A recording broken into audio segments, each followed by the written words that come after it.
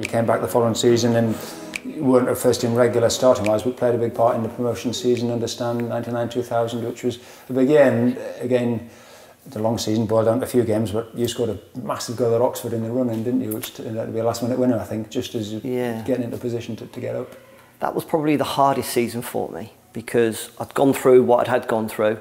You'd, you'd had the likes of your Waddle eras and everything, but the, the previous season was a write-off. Tommy White's gone.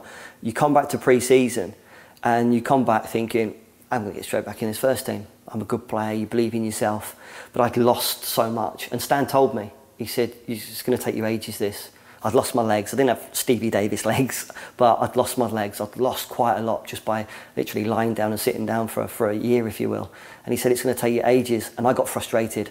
I was doing okay in the reserves. I was thinking I'm, I'm good enough, I'm ready, but I wasn't. The first team had up their game. Stan had brought in some good mm. signings, so they're going like this, and, and I'm sort of hanging on their coattails, if you will. And it was difficult. You know, we had some fallouts, me and Stan. I thought I was better than what I was, and, and looking back, he was so right in many things. But again, when you're a younger lad, you think you know it all. Stan said, "Well, go, you're off." So you know, I'm happy to let you go. Again, knee issues. I've always had the weak knee, so I decided in early February to get my knee done. I thought, well, if I'm going at the end of the season, I'm going to go fresh and fit and everything. So I uh, went and had me, I think it was, that was my third operation on my knee. So they said this time have 10 weeks off, have it, really build the knee up, get yourself fit. So that was basically wrote off February and March. I came back to training and it's like pre-season for me.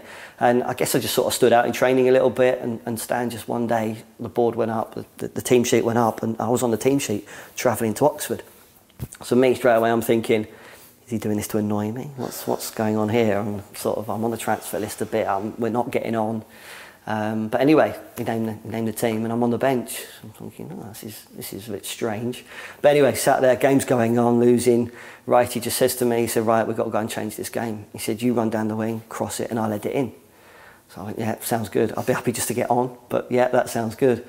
So as it goes, gets on the pitch, thinking, right, got my chance here on the right hand side, flies down the right hand side, puts a cross in, completely miskicks it, doesn't get it right into the box. It goes back to the edge of the box. Steve Davis heads it in the corner.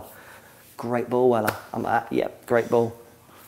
Like you do. 1 1, we're back in this. Anyway, Wrighty runs down the far corner. He crosses it, sneaks in between, you know, me heading, sneaks in between two players, heads it in the bottom corner. All of a sudden, it's a game changer for me. Massive. yeah, you know, I yeah. get to the press afterwards. You've come off the transfer list. Stan says you're committed now. You love the club and everything. And I'm like, well, I do. Of course I do. I'm just happy to be playing.